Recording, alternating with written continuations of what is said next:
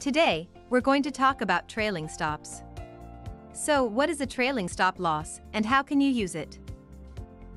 A trailing stop is a stop loss order that automatically adjusts according to market movement. It will follow your position that you had entered when market moves in your favor, locking in your profits, and closing the position if the market moves against you. A trailing stop has two elements to it the stop distance and the trailing step. We'll explain these with a scenario. Let's say you buy a position on stock A at $100. You set your stop distance 30 points away at $70 and a trailing step of 10 points.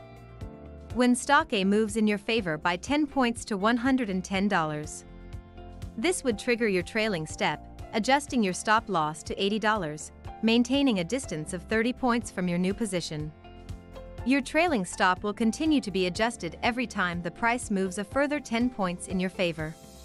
If the price of stock A were to hit a high of $160, your trailing stop will be fixed at $130, and as the market retrace, your position will close out, earning you a profit. To switch to a trailing stop, you can simply click on the drop-down menu on your deal ticket and select it. To learn more about IG and trading, head over to ig.com/sg now. See you there.